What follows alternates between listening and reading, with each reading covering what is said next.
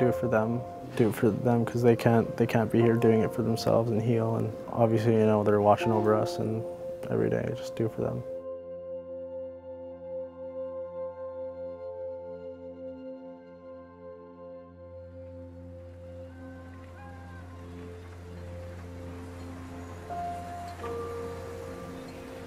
Doing stuff that I wasn't able to do before, or, or, I guess when I was standing up, not being able to do stuff I can now. Like for example, the Stampede. And, you know, you see all the rides and you, you know, and stuff like that, and you gotta you kind of watch other people go on it. Um, just little things like that kind of sucks.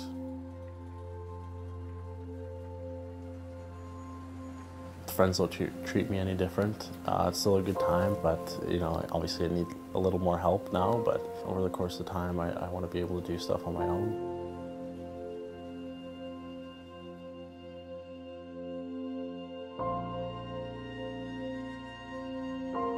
Saw him in the hospital. That was, oh, that was hard. With all the tubes and everything. But it was just amazing how fast he, he started doing for himself as well. Um, you never want to see your kid like that. Never. And it was, whew, it was hard.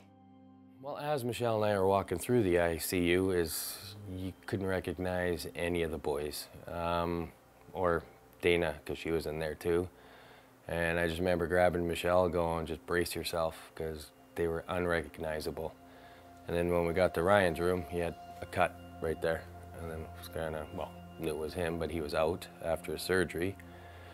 And then uh, when he woke up, we were right there, and then he kind of looked, and first thing he actually said was, "I'm sorry." And I looked at him and I went, what are you sorry for? And then he goes, I can't feel anything. I went, pal, I don't give a shit about that. I said, you're alive and we'll focus on that. Then he goes, did Team Canada win the sledge hockey like in the uh, Olympics? And I pal, they lost 2-1 to the States. And then he looks and he goes, I'm gonna try out for sledge hockey. And then Michelle and I, our eyes bugged out and went, where did he come up with that? And then that's been his goal since that. Hockey is such a big part of my life that I, I thought I would never, you know, play the sport again. And now I've just grown to accept it almost and find a new way around it, being involved in the game as, as much as I can. This is seventh time out on the ice, and I mean, it's, it's amazing, right? I mean, for how short of a time it's been since you know the the incident happened. And i mean given you know everything that he's gone through and you know the laundry list of injuries that he had for him to be out here doing this it's just unthinkable. And it's it's you know sledge is just a whole different beast in itself having to use your your arms as both your motor mobility and be able to stick handle and shoot the puck with everything and incorporate that all into one smooth motion while you're on the ice. And and Ryan being that high level hockey player has that he has that drive right now and he wants to be elite. It's one of those you gotta, you know, you gotta crawl before you can walk, right? And he's wanting to go right to running.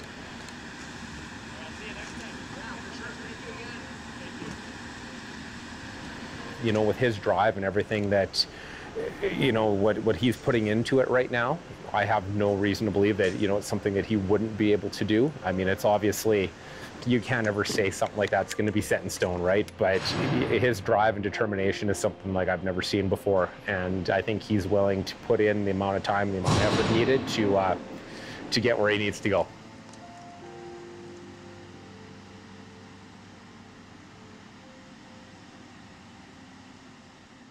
I think I've become a better person, honestly, and um, you know, before being like a hockey player, I guess you know you have that sort of swagger behind you and stuff like that. And you know, you're not, not always the most humble person, but now you know we, you're in a different situation, and you know you're a lot more humble and, and careful and just kind to other people because you know you never know when the last time you're gonna see them is. I mean, it's not the end of the world. I mean, like Rick Hansen said when he came to visit me in the hospital, is there, there's more to a person than his or her legs. So, you know, just kind of be an, inspiration to other people and, and kind of show people that, you know, when one door closes, another one opens. Well, the big adjustment is watching Ryan, who used to be able to do everything himself, trying to figure things out. So that's been the tough adjustment, seeing him every morning transfer and having to do what he has to do to get ready. So that's pretty tough. But he seems okay. He's adjusted to it, so we adjust with him. Right? Because you had a 19 year old that, like I said, could do whatever basically he wanted. And now he's getting craned into a bed. Um, but I tried to stay positive with him. I'm like, pal, this ain't gonna last forever. You'll be able to do all this on your own. So, and his goal obviously was to get strong and to be able to take care of himself. And so he could try out for the, the sled hockey team. I think for the whole family, it's tough to watch. Like uh, with Jet, he's always loved when Ryan came home for Christmas so they could go skate on the pond. So obviously that, that won't happen anymore unless Ryan takes his sled out there. But uh, and with Jaden, a tough adjustment seeing her big brother like that. And Ryan still protects her and kind of with the boyfriend situation, he's like, hey, I'm sitting, I'll still take care of him. So, so it's just tough for everybody. But uh, like I said, we move on. He's alive, so we just try and get him to the next stage. We were close when we were younger, and then he's the older brother, so obviously we drifted apart and he got into like hockey and stuff like that. And then that accident, the accident happened and we've just been closer than ever now. And I like to say that I'm his favorite. uh, before he went off to play hockey in Leduc, we were like starting to get like that like brother bond. And then he wanted to go play. We kind of lost that bond as he went away for hockey for like two years. And then came back for Christmas, started bond more, and then the crash happened. And it was been, it's been good, I guess. He's still kind of my big brother, so he's always gonna bug me and you know, call me, call me names, and yeah, I can't really get over that. I think it's just adjusting to everything, like to um, Ryan, like and his limits and stuff like that, and then our house, like waiting for that all to come together, and then just being in a hotel, like being really close together, but it's okay. I've kind of just grew up with him being so inspirational to me, and and obviously my siblings. Like he's just a very inspirational person, and not very surprising that people are, are wanting to meet him and all that. It's kind of cool. Learned to skate was five, so hockey I think must have been Timbits was about six. Um, yeah, he hated it. he did not want to do it. Tom would literally have to pick him up and throw him on the ice. Say, get out there. You're gonna one day you're gonna thank me. But he was also that guy that didn't really like attention, didn't really want to be the center of attention. He, he used to get nervous before games, even though there wasn't thousands and thousands and thousands of people there. But now he's, he's kind of, I don't know, he has absolutely no problem with talking to people now. And, and just, he would, he would have been a very quiet kid unless you got to know him really well before.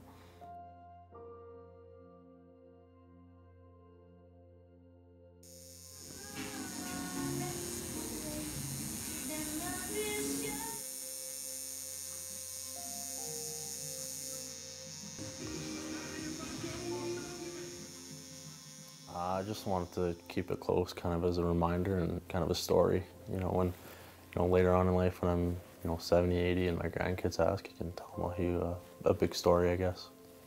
Is it emotional for you to look at, you know, some of those names and numbers? I mean, yeah, mixed emotions. Um, but, it, you know, it's keep it close to me and, you know, use it as motivation.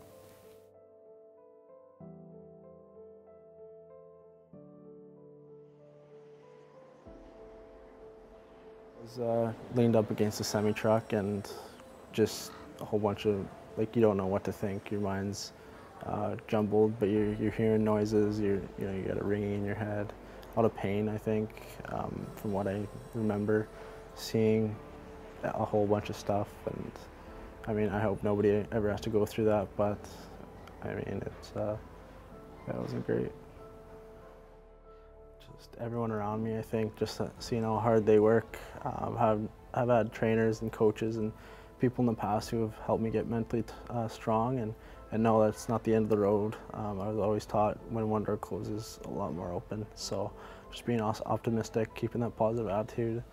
Um, I was always told during a game when you're down you're losing, um, when things aren't going your way, your true colors start to show. And obviously, I think this is a, a good example of it. Um, you know things might not be going our way, but as long as we keep optimistic and positive, we'll we'll get through it. Um, figuring out who we are as a family. I think together now we are together an awful lot, and um, sometimes that's a good thing. Sometimes it's not a great thing. Um, but we're sort of figuring out what different roles we can play with each other. Now we can, um, you know, the kids can be more independent now that they're driving, so that's good. Um, Ryan still got to, he's got to start from scratch for everything, so we're learning how all of that goes and the struggles that come with his condition and um, being a para. And, um, but we've made some amazing connections with people and, and really feel like um, there's a lot of people in our corner and it makes us want to do better.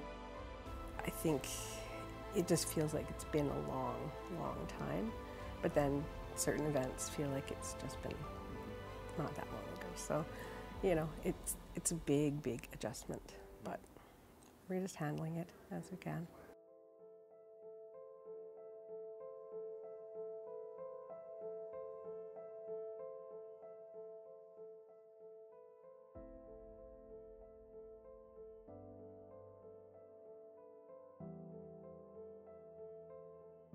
Um, some days get stressful, like uh, like everyone has good days, bad days, and when those bad days hit, you just got to plow through that and try and make it a positive day. So every morning I'll uh, wake up, look out the window, see the sunshine or the snow, and go, okay, let's make this a good day. I'm to use Ryan as, a, as an example for myself as well. Even when things look their bleakest, um, I think it's important to just keep putting one foot in front of the other, literally or figuratively. You know, you got to keep trying. Get up, get going. Yeah, I think that's, I mean, and keep laughing if you can.